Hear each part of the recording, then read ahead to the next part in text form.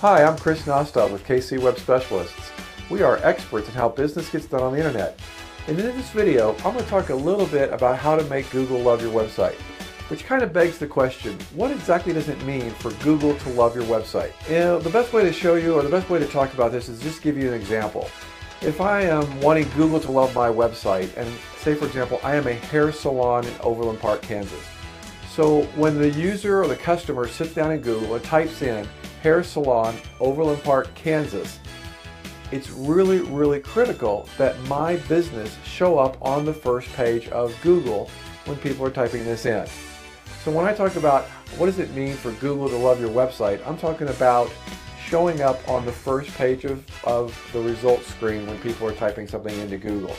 It's a proven fact out there that customers also will start at the top of the list and work their way down the bottom. And if you're not on the first page of Google, they are going to pick somebody who's on the first page of Google.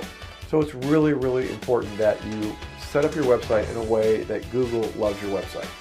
My name is Chris Nostov. I'm the owner of KC Web Specialists. We are experts in how business gets done on the internet.